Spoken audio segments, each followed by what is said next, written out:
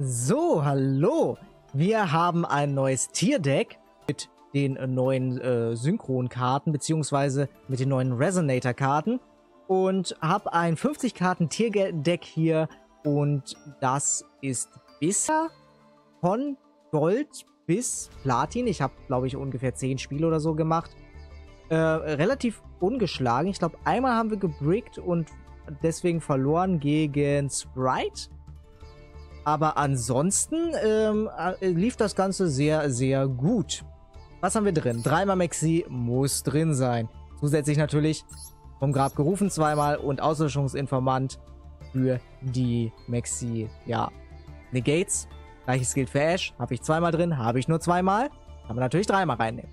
Dann haben wir einmal Angriffssynchron. Wir haben dreimal Visionsresonator. Wir haben einmal Halfness. Gib uns zurück Merly. Bitte danke sehr. Ähm, wir haben zweimal den Revolutionssynchron. Wir haben einmal Märchenschweif Schnee. Wir haben einmal Gefallener von Albers. Ja, Branded ist mit drin. Es ist ein Tier-Synchro-Branded-Deck. Dann haben wir zweimal den obersten Meermare, was praktisch äh, Rhino Heart of Wish bestellt ist. Dann haben wir einmal Tränenklage Sheeran, äh, zweimal Tränenklage Sheeran. Dann haben wir dreimal Rhino Heart, einmal Caldio und einmal Modora. Ich weiß noch nicht, ob ich beide Shuffler mit drin haben will. In der Theorie ganz nett. Aber theoretisch kann man auch nur einen da benutzen. Deswegen, I don't know. Da bin ich noch etwas unschlüssig. In der Theorie kann man dafür dann zum Beispiel eine dritte Ash spielen hier. Oder einen zweiten Albers. Dann haben wir einen abgeheuerlichen Magnamut und einen abgeheuerlichen Druiswurm. Ähm, das reicht eigentlich von den Abgeheuerlichkeiten hier. Mehr brauchen wir nicht. Die sind hauptsächlich drin, damit wir den Visionsresonator ähm, ja, spezial beschwören können. Denn der kommt ja, wenn wir ein Finsternismonster der Stufe 5 oder höher kontrollieren. Das heißt, zum Beispiel abgeheuerliche Magnumut, abgeheuerlicher Druiswurm, Hit Callus würde funktionieren, äh, Dragos würde funktionieren, Mirror Jade würde funktionieren, äh, Kaleido Heart würde funktionieren und auch Draco Berserker der Tenji, falls er auf dem Spielfeld ist. Aber meistens beschwören wir den damit. Deswegen, ja, Visionsresonator ganz nett zu haben. Dann haben wir das Rudo, ermöglicht uns eine 7er Synchro, aber auch eine 11er Synchro für Psychic End Punisher oder halt für den antiken Fädendrache oder den aufsteigenden äh, Aufsteiger-Schnuppendrachen. Dann haben wir einmal Kashtira Fenrir und einmal Tränenklage Kashtira. Äh, Tränenklage Kashtira, äh, Kashtira Fenrir sucht uns die Tränenklage Kashtira. Kann gesucht werden von zum Beispiel unserem Field Spell, den Unterdrückerplanet Raceoff. Und der kann natürlich gesucht werden, zum Beispiel durch äh, Antiker Feendrache. Ja, dann haben wir einmal die Tränenklage Kashtira. Die kann sich selbst beschwören, indem wir eine Tränenklage-Karte verbannen, egal Zauberfall oder Monster. Oder Kashtira, das heißt, wir könnten auch den Fenrir aus dem Friedhof verbannen. Dann haben wir einmal törichtes Begräbnis, einmal Verstärkung für die Armee, damit wir Rhino Heart suchen können. Zweimal Stimmen, sucht uns entweder den Angriffssynchron oder den Revolutionssynchron und schickt die oberste Karte unseres Decks auf den Friedhof. Ganz nett, wenn sich der Revolutionssynchron aus dem Friedhof wiederbelebt, der, äh, falls wir eine Synchrobeschwörung gemacht haben in diesem Spielzug. Ähm, solange wir ein Synchromonster der Stufe 7 oder höher kontrollieren, so nämlich, dann können wir die oberste Karte des Decks auf den Friedhof legen und diese Karte als Stufe 1 Empfänger als Spezialbeschwörung beschwören. Ähm, ist ganz nett, gibt uns halt zusätzliche Karten auf den Friedhof. Dann haben wir einmal törichte äh, Begräbnisbeigaben. Entschuldigung. Damit können wir unsere Tierlements-Karten Zauber und Fallen auf den Friedhof schicken, die dann wiederum triggern. Dann Talente, drei Taktiken, dreimal, äh, zweimal. Dann einmal markierte Fusion, einmal dreimal Tränenklage Gram, eine sehr gute Karte in diesem Format. Dann einmal den Urplanet Palerino, den wir auch searchen können, falls wir den Bravesoft auf dem Spielfeld haben, machen wir den antiken Feendrachen, toppen den Ravesoft und aktivieren dann aus dem, der, oder holen uns den Urplaneten auf die Hand und aktivieren ihn dann. Muss aber natürlich nicht auf unserer Seite sein, der Field, den Field Spell, den wir poppen. Wenn unser Gegner einen Field Spell hat, auch nice, dann zerstören wir den und äh, können dadurch unseren Field Spell suchen. Und dann haben wir zweimal Tränenklage Schrei, einmal Feuerrote Gaia. Falls Feuerrote Gaia auf den Friedhof gelegt wird, können wir uns den Visionsresonator suchen. Nee, andersrum. Wenn der Visionsresonator auf den Friedhof gelegt wird, können wir Feuerrote Gaia aus dem Deck suchen und Feuerrote Gaia äh, kann uns den Visionsresonator aus dem Friedhof auf die Hand holen oder aus dem Deck auf die Hand. Und der kann dann halt als Synchro, also als Empfänger dienen, kann sich spezial beschwören, können wir als normal beschwören, können wir als Discard-Fodder benutzen, um zum Beispiel eine Sheeran zu beschwören, etc. Ja, dann wie gesagt das Anti-Maxi-Package mit Called by the Grave und Auslöschungsinformant und Tränenklage Metalärm, Schreitat und Sudelkreisch für Disruptions und sie haben ja auch ihre Effekte, wenn sie auf den Friedhof gelegt werden. Im Extra-Deck eine Kit Callus, einmal Raubpflanze Dragostapelia, einmal Spiegeljade, einmal Lubellion. Lubellion auch ganz nice, weil er uns halt Karten äh, von der Hand auf den Friedhof schicken kann. Aber Achtung, wenn wir den Effekt aktivieren, dann ähm, können wir nur noch Fusionsmonster äh, von dem Extra-Deck, also für den Rest des Spielzugs aus dem Extra-Deck beschwören. Das heißt keine Synchros mehr. Aber mit ihm können wir dann halt, ähm, wie war das? Äh, indem du das Fusionsmaterial auf, von deinem Monstern auf dem Spielfeld, im Friedhof oder offen verbannten Karten ins Deck mischt. Das heißt, falls unsere Elements verbannt sind, können wir sie ins Deck zurückmischen. Super nice. Um dann halt ein ähm, Spiegeljade Eisklingendrachen zu machen, falls unsere Cat Callis verbannt ist oder sowas. Oder was war noch? Äh, du kannst eine Karte abwenden mit Beschwöreinfluss der Stufe 8 oder niedriger als Fusionsbeschwörung von deinem Extra-Deck aus Lobellion. Ähm, ja, wir können damit auch unseren Ruikalos beschwören, würde auch gehen. Predator Plant würde funktionieren. Also, da haben wir auf jeden Fall ein paar Optionen.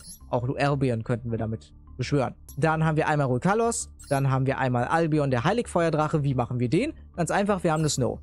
Snow ist ein Lichthexer-Monster, können wir also damit beschwören. Kommt nicht häufig vor, kann man theoretisch rausnehmen, aber ich habe ihn jetzt erstmal drin.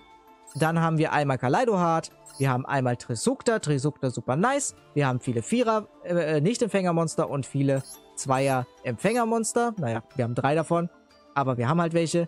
Trisukta kann die wieder beschwören und dann können wir mit dem entsprechenden Zweier-Empfänger plus Trisukta in den Visas Amritara gehen und Amritara sucht uns dann halt eine Zauber- oder Fallenkarte, die Visa Starfrost erwähnt. Das kann der Fieldspell sein, der Paladino, das kann äh, Tränklage Gram sein, das kann Sudelkreis sein oder halt die anderen T-Elements-Karten. Deswegen sehr nice zu haben. Dann einmal antiker Feendrache, wie gesagt, können wir machen mit Revolutionssynchron aus der Hand, mit einem Stufe 4er. Ähm, wenn ein Fieldspell auf dem Spielfeld liegt, können wir den poppen für einen neuen Fieldspell aus unserem Deck. Und wenn wir ihn mit dem Revolutionssynchron gemacht haben, Revolutionssynchron schickt eine Karte vom Deck auf den Friedhof, beschwört sich selber ähm, als Stufe 1 Empfänger, haben also eine Stufe 7 nicht, äh, Stufe 7 Synchro nicht Empfänger und einen Stufe 1 Empfänger. Heißt, wir können den Kristallflügel Synchro-Drachen machen und der ist ein, eine ziemlich starke Karte. Dann haben wir den Aufsteiger Schnuppen Drachen, falls wir nochmal den Revolutionssynchron auf der Hand haben, noch eine 7er Beschwörung machen wollen. Oder halt auch mit Ash, würde auch gehen, falls wir Ash normaln, passiert aber so gut wie nie. Dann können wir hier den Aufsteiger Schnuppendrachen machen, der schickt ein Monster vom Deck auf den Friedhof. Das wäre dann im besten Fall unser äh, Märchenschrei Schnee, denn in diesem Spielzug können wir den Effekt des Monsters nicht aktivieren. Dann wird er zu einem Stufe 3 Empfänger, heißt mit einer Kashira-Karte zum Beispiel könnt ihr eine Stufe 10 Synchro machen. Oder mit einer Stufe 4 Karte könnt ihr einen antiken Feendrachen machen. Oder mit einer Stufe 8 Synchro auf dem Spielfeld könnte er dann den Zwei-Endbestrafer machen, je nachdem. Und wir haben halt eine Snow für den nächsten Spielzug auf dem Feld. Dann haben wir, wie gesagt, Kristallflügel Synchro-Drache.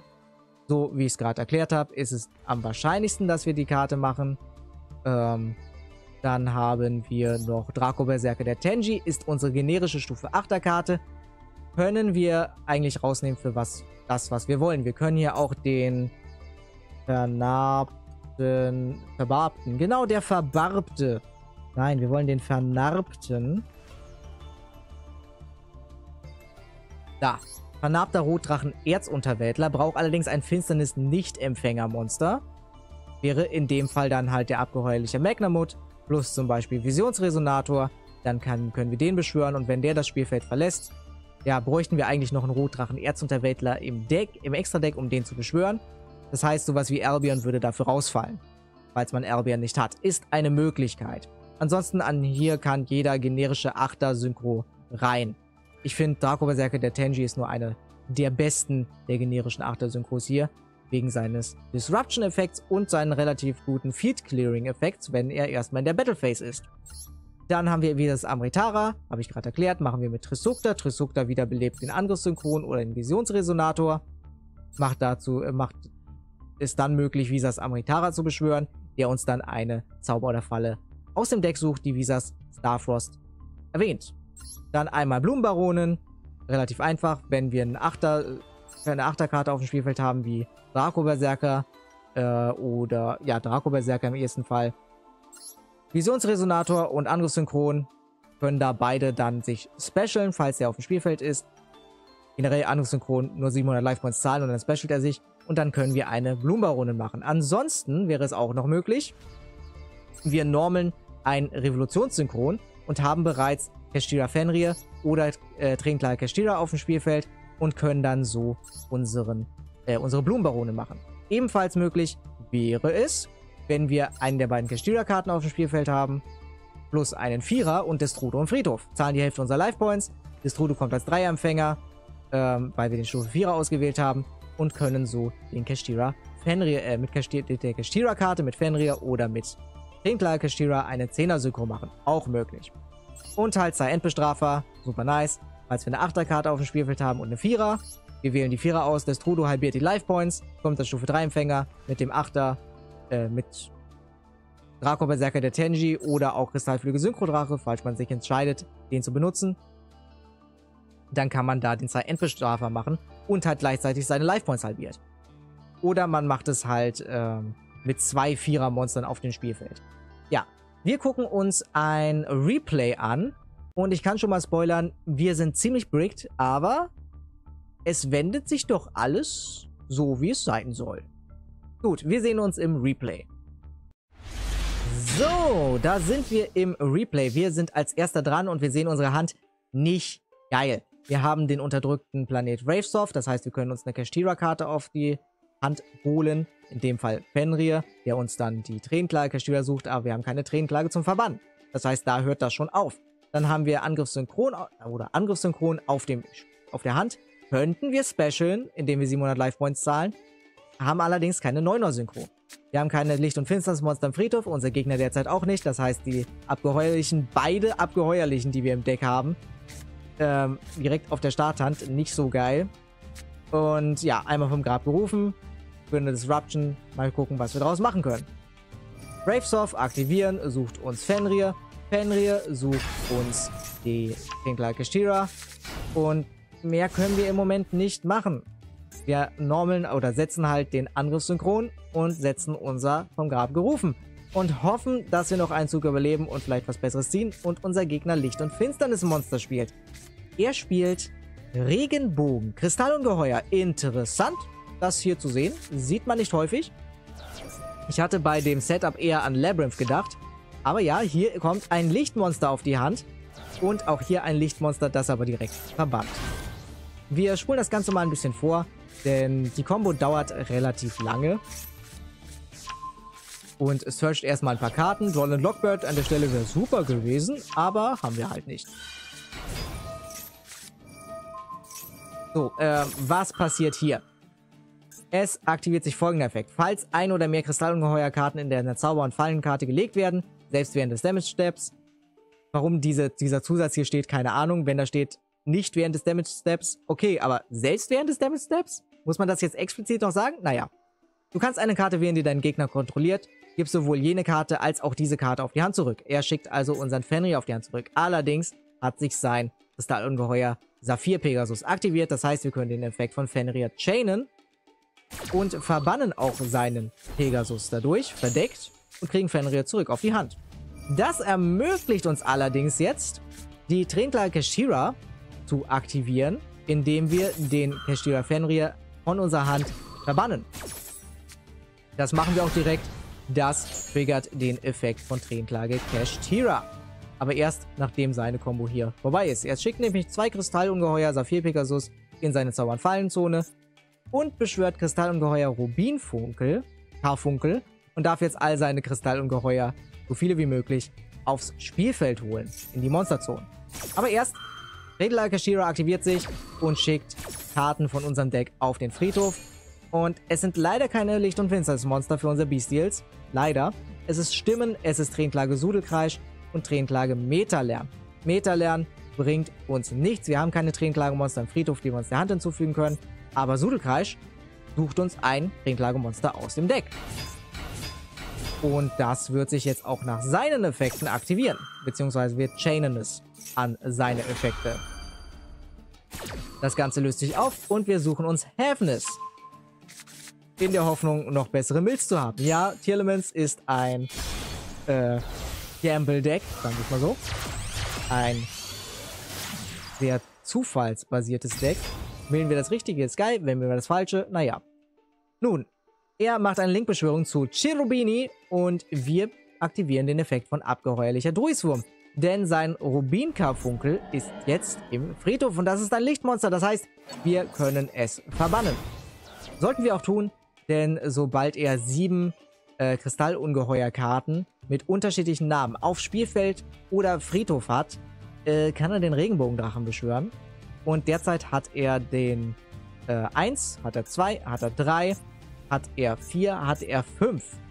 5 Stück und Kristallungeheuer Regenbogendrache zählt vielleicht auch dazu. Das wäre der sechste. Das heißt, wir haben hier den siebten Verband. Sehr gut. Wir haben erstmal verhindert, dass der Regenbogendrache kommt. Allerdings schickt er jetzt sein Kristallungeheuer Amethystkatze auf den Friedhof. Damit dürften es wieder sieben sein. Allerdings, jetzt, ich sag gerade viel allerdings. Also, auf seinen Effekt Cherubini, ähm, der auf dem Spielfeld aktiviert wird, dürfen wir Heaviness Chain. Heaviness kommt gespecialt und schickt drei Karten von unserem Deck auf den Friedhof. In dem Falle ist es Caldio, Tränenklage Gram und törichte Begräbnisfreigaben. Caldio, super, wenn man es jetzt direkt aktivieren könnte. Aber bevor er irgendwas macht, worauf wir unseren Caldio chainen können, beschwört er den Regenbogendrachen. Hätten, hätte er irgendwas anderes aktiviert, hätten wir seine drei Kristallungeheuer hier ins Deck zurückmischen können und das hätte ihn ziemlich gestört. Naja, konnten wir nicht machen. Leider, jetzt aktivieren wir es.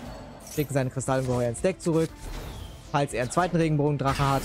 Aber er benutzt seinen Regenbogendrache als Material für den Regenbogen Overdrive, äh, Regenbogen Überdrache. Und wir aktivieren den Effekt von Magnamut und verbannen so erstmal seinen Regenbogendrachen. Magnamut-Effekt sucht uns in der Endphase einen Drachen, er macht eine Link-Beschwörung zu Unicorn. Unicorn zwingt uns jetzt, unsere, unser Court by the Grave zu aktivieren. Eigentlich wollte ich an der Stelle testen, ob wir damit den Regenbogen-Überdrachen negieren können. Denn Regenbogen-Überdrache sagt folgendes. Du kannst ein Kristallungeheuer-Monster äh, Kristallungeheuer-Monster in deinem Friedhof verbannen. Diese Karte erhält bis zum Ende des Spielzugs Angriffspunkte des äh, verbannten Monsters.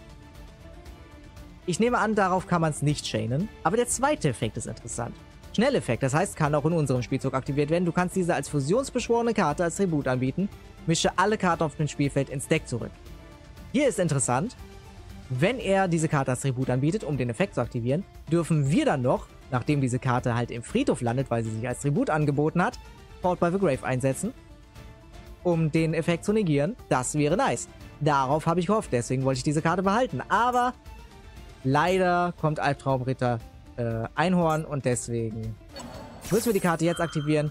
Haben sein Kristallungeheuer Kobaltadler, damit das nicht verbannt für seinen Effekt vom Regenbogen-Überdrachen. Ist das einzig logische Target hier.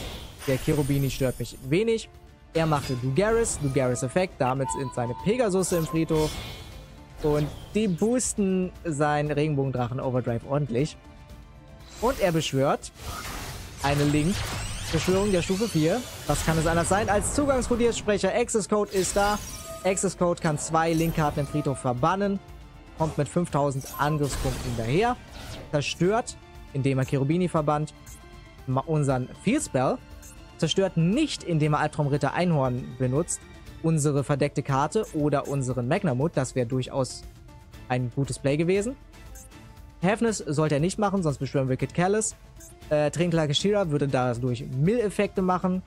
Und äh, abgeheuerlicher Druidswurm würde ein spezialbeschworenes Monster auf den Friedhof schicken. Das heißt, die kann er nicht poppen.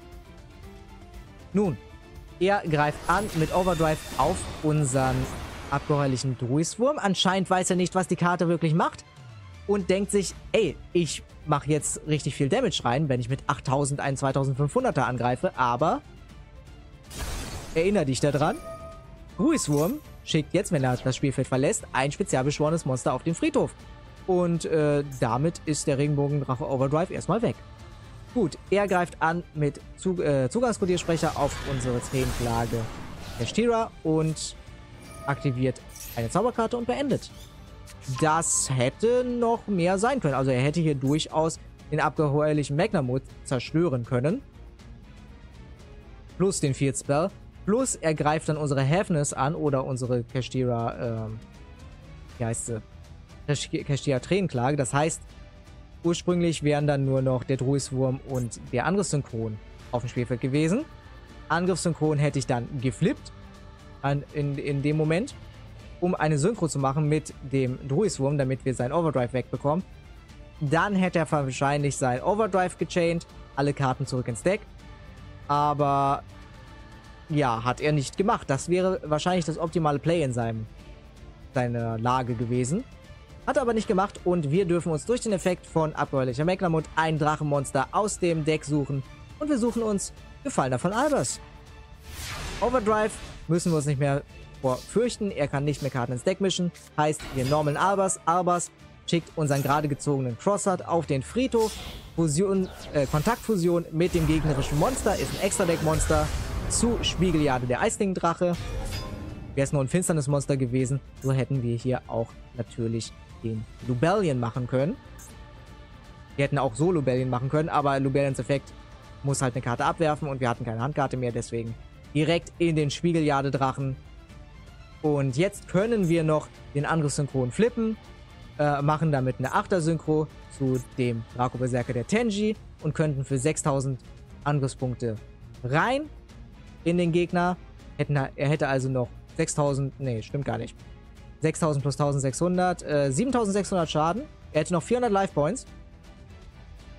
Und äh, wir hätten den Spiegeljade Eisling-Drachen auf dem Spielfeld, der seinen Effekt aktiviert, ein offenes Monster vom Spielfeld verbannen. Wir hätten den Draco Berserker, der ein Monster verbannt, sobald es den Effekt aktiviert. Deswegen wir hätten ja zwei schöne Disruptions gehabt. Und ja, wir flippen den Angriffssynchron. Und unser Gegner gibt auf. Ist jetzt nicht das optimale Tierlements Play gewesen. Oder Tierlements Synchro Play. War ein bisschen sehr stark um die Ecke rum. War mehr Albers Synchro an der Stelle, aber ist Tierlements. Es gibt auch noch andere Replays, kommt vielleicht noch. Ähm, das sollte jetzt erstmal ein Deck-Overview sein. Falls noch andere Replays kommen, kommen die als separates Video.